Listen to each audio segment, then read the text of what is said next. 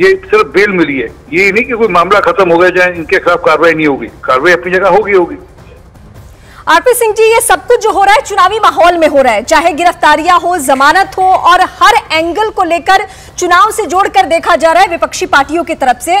तो अब जब इसको लेकर भी सवाल उठेंगे कि एक चेहरा छूट गया तो दूसरा क्यों नहीं, जबकि कोर्ट की तरफ़ से कह दिया गया, स्पष्ट कहा गया है कि इसे मिसाल के तौर पर ना देखा जाए अन्य गिरफ्तारियों में या अन्य लोगों की जो जमानत नहीं हो पा रही है उसमें।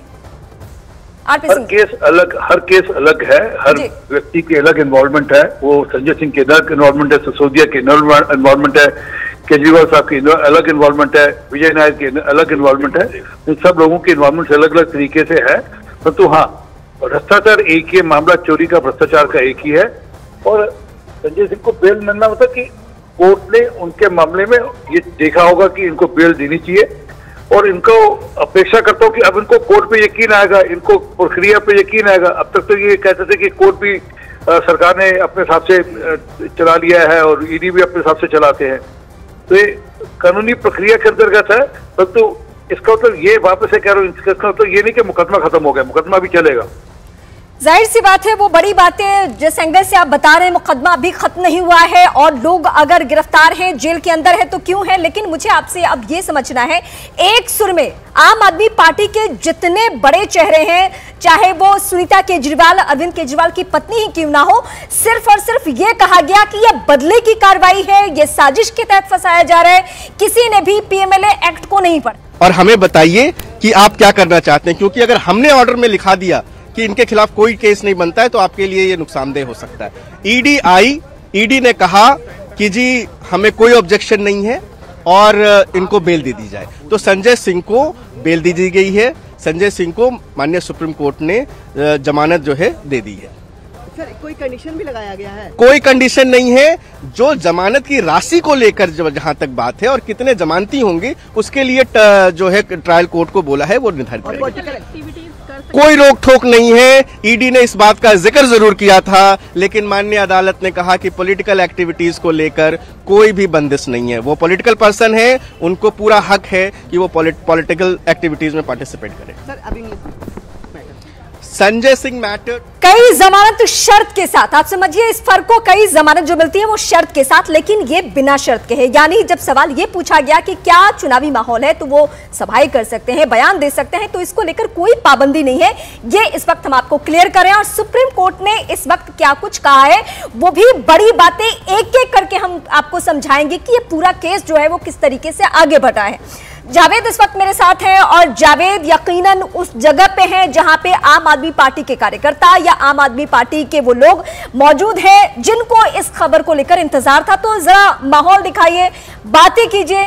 पहली प्रतिक्रिया इस जमानत के बाद क्या है सभी की? रीमा, ये खबर कितनी महत्वपूर्ण है, उस जगह उस वजह से समझा जा सकता है जहाँ इस वक्त मैं खड़ा हूँ। मेरी मौजूदगी सीएम आवास के बाहर है जहाँ आपसे थोड़ी देर पहले तमाम आम आदमी पार्टी के विधायक जुटे थे और उन्होंने एकजुटता दिखाई थी। और ये कहा था कि अरविंद केजरीवाल जेल से सरकार चलाएँगे और वही हमारे मुख्यमंत्री बीजेपी का प्रेस कॉन्फ्रेंस इस वक्त जारी है वो हम सुनते हैं जरा। हम क्यों बोले? हम तो बार बार कह रहे हैं अभी भी कह रहे थे। कोर्ट बेल देती है। भारतीय जनता पार्टी नहीं। फिर भारतीय जनता पार्टी को क्यों दोषी ठहराते हो? किसी को बेल मिलना ये भी याद रखिए किसी को बेल मिलना उसकी सजा उसकी उसके गुनाह खत्म करना नहीं होता है। किन परिस्थितियों में बेल किन है? शर्तों पे किन शर्तों पे बेल है? सत्येंद्र जैन जी को भी थोड़े दिन के लिए बेल मिली थी क्योंकि स्वास्थ्य खराब था। लेकिन जो आरोप है वो इतना भयानक है कि आम आदमी पार्टी का एक सबसे बड़ा नेता, जो शराब घोटाले का किंग पिन है, वो गिरफ़्तार है। और मुझे पूरा विश्वास है कि आतिशी जो सौरभ भारद्वाज जैसे भी पूछताछ होनी ही चाहिए, क्योंकि सबसे बड़े किंग पिन ने उनका नाम लिया। लेकिन सर इस तरीके से कल आम आदमी पार्टी ने कहना था कि ईडी ने आज से साल पहले सौरभ भारद्वाज और आतिशी का नाम दिया था लेकिन उस वक्त बीजेपी ने कोई भी उसका मुद्दा नहीं उठाया और कल जब उनको ये पंद्रह की न्यायिक हिरासत में भेज दिया गया। उसके बाद जो है बीजेपी इसको मुद्दा बना रही आप हमें एक बात बताइए कि अरविंद केजरीवाल ने नाम क्यों लिया? जाँच एजेंसी अपना काम कर रही है। हम तो जाँच एजेंसी नहीं है। जाँच एजेंसी किसका नाम लेगी किसका नहीं लेगी हमारा पक्ष नहीं है ना जी। लेकिन अरविंद केजरीवाल जाते जाते तो खेल कर ही रहे हैं ना। कि मैं जाऊँगा तो तुम्हें साथ लेके जाऊँगा। उसका जवाब दें आतिशी मतलब सदन में भी ये बात कही गई थी वहाँ पे नंबर जारी किया गया जिसके नंबर से ये कहा गया कि बीजेपी के किसी ने उनसे संपर्क करने की कोशिश की थी बकायदा सदन में नंबर भी रखा वही नंबर ही तो मांग रहे हैं हम। नंबर सदन में अरे भाई सदन में रखा होगा ना आज प्रेस कॉन्फ्रेंस कर रही है वहाँ बड़ी बातें इस वक्त आप सुन रहे थे। मनोज तिवारी सहित जो बीजेपी के बड़े लीडर्स हैं वो क्या कह रहे थे? मैं सीधे अपने सहयोगी का रुख करूँगी। इस वक्त मेरे साथ सुप्रीम कोर्ट के बाहर से मौजूद है।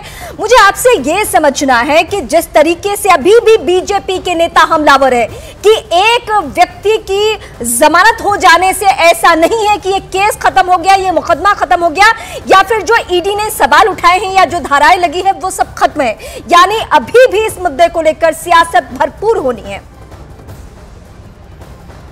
रीमा देखिए अदालत का जो फैसला आया उसके बाद बीजेपी का ये रुख बीजेपी राजनीतिक तौर पर भी यही रुख बोलेगी क्योंकि निश्चित तौर पर तथ्यात्मक रूप से वो सही है। केस अभी चल रहा है एक आरोपी को उसमें से बेल मिली है उसको कोर्ट ने जमानत के लिए मंजूर किया क्योंकि ईडी ने विरोध नहीं किया। लंच से पहले मैं आपको बताऊँ इस केस की सुनवाई में लंच से पहले कोर्ट ने ईडी से पूछा था कि मनी ट्रेल कहाँ पर है संजय सिंह के पास से दो करोड़ की बात दिए जाने की बात की जा रही है कि संजय सिंह को दो करोड़ दिए गए थे। इसके अलावा मनी ट्रेल कहाँ पर है संजय सिंह को हिरासत में रखना क्यों ज़रूरी है? आप उन्हें क्यों हिरासत में रखना चाहते हैं? कोर्ट ने लंच से पहले ये कहा और ये भी कहा कि लंच के बाद आप बताइए इन सब सवालों के जवाब। लंच के बाद ईडी आई और ईडी ने कहा, ईडी ने जमानत अर्जी का विरोध नहीं किया, जिस कारण सुप्रीम कोर्ट ने जमानत दे दी। तो राजनीतिक तौर पर अगर हम देखें तो अभी भी बीजेपी, क्योंकि तथ्यात्मक रूप से वो सही कह रही है कि अभी ये केस चल रहा है मुख्यमंत्री जेल में इसी मामले में और अब ये भी नहीं कह पाएँगे आम आदमी पार्टी वाले कि किसी को पीएमएलए केस में बेल नहीं मिलती। उनके एक बड़े नेता को जमानत मिल रही है सुप्रीम कोर्ट के ज़रिए जमानत मिल रही है। तो लेकिन आम आदमी पार्टी भी राजनीतिक तौर पर ज़रूर इस मामले को बड़ा खेलने की कोशिश करेगी क्योंकि संजय सिंह उनके बड़े नेता हैं फ़र्स्ट लाइन ऑफ़ लीडरशिप में से हैं पार्टी के और चुनाव से ठीक पहले अब संजय सिंह का बाहर आना पार्टी के लिए निश्चित तौर पर एक बड़ा संजीवनी का काम करेगा क्योंकि संगठन को वो संभाल सकते हैं चुनावी गतिविधियों को वो संभाल सकते हैं। तो इन सब चीज़ों को देखते हुए आम आदमी पार्टी राजनीतिक तौर पर इसका इस्तेमाल करेगी।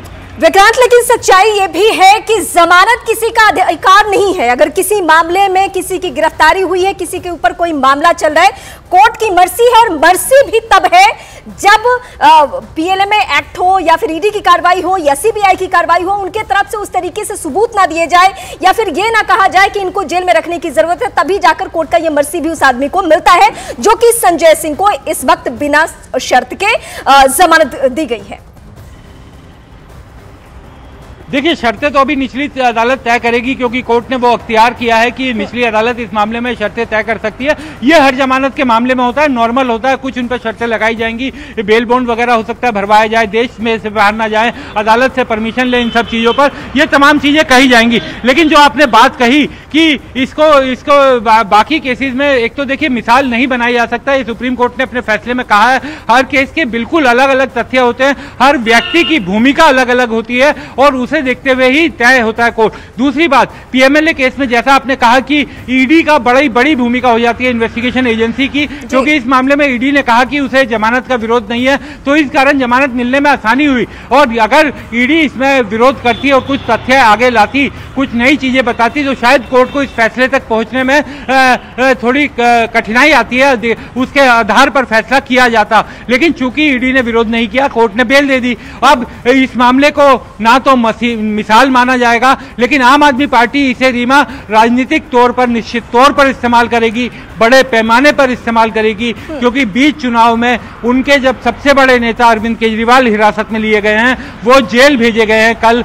अब ऐसे में संजय सिंह को जमानत मिलना, वो पब्लिक के बीच एक संदेश देने की कोशिश ज़रूर करेगी। ठीक है, विक्रांत, अब इसका मैं राजनीतिक पहलू आपसे समझूँगी क्योंकि कानूनी पहलू के एंगल से होता क्या है अमूमन कि आम लोगों तक वो बातें नहीं पहुँच पाती है क्योंकि सरलता इतनी है नहीं। अब पीएमएलए एक्ट जो है, उसमें जमानत को लेकर क्या प्रक्रिया है, ये आम आदमी को मालूम नहीं है। तो वहाँ तक जो विपक्षी खेमा हो या जिसके ऊपर भी एक्शन हो, वो क्या पहुंचाते हैं? वो ये पहुंचाते हैं कि ये बदले की कार्रवाई है, ये राजनीतिक कार्रवाई है। अब चुनावी माहौल में इस एंगल को कोई पढ़ेगा नहीं कि संजय सिंह को अगर जमानत मिली है तो कैसे मिली है और जिन बाकी तीन नेताओं को जमानत नहीं मिली है, वो क्यों नहीं मिली है? तो अब इसका सियासी एंगल क्या हो सकता है चुनावी माहौल में? वो जरा हमारे दर्शकों को बताइए आप। देखिए, क्योंकि संजय सिंह पार्टी के सांसद हैं, एक अच्छे वक्ता हैं, उनको दूसरी बार पार्टी ने राज्यसभा का टिकट दिया, दूसरी बार सांसद बनाया और उस समय सांसद बनाया जब वो इसी शराब नीति मामले में जेल में बंद थे। जेल से विशेष परमिशन लेकर राज्यसभा वो आए, उन्होंने शपथ ली और वापस वो जेल चले गए।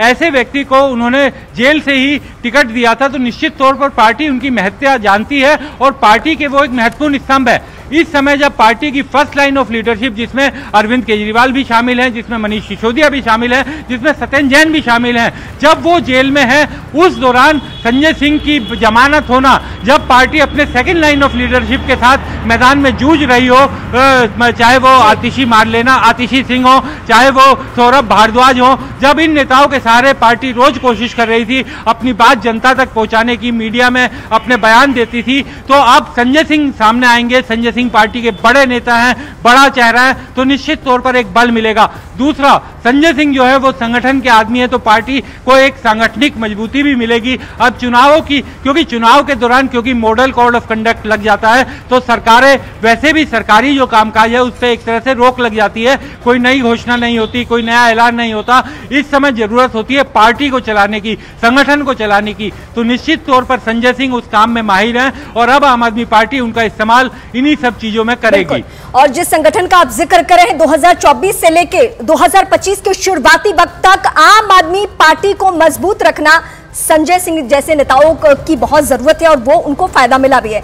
मैं अपने सहयोगी जावेद का रुख करूँगी। जावेद उन लोगों के बीच में है जो इस फैसले का इंतज़ार कर रहे थे। जावेद, अमूमन हमने देखा है, किसी भी राजनीतिक पार्टी के लिए बातें लागू होती है कि उनके कार्यकर्ताओं का मनोबल अगर हावी हो, मनोबल अगर ठीक रहे तो चुनाव में उसका रिज़ल्ट भी उस तरीके से हम देखते हैं। अब संजय सिंह जैसे अगर लीडर इस मुसीबत की घड़ी में उन्हें जमानत मिल गई है तो कार्यकर्ताओं के मनोबल पर क्या असर है? जरा बताइए हमें।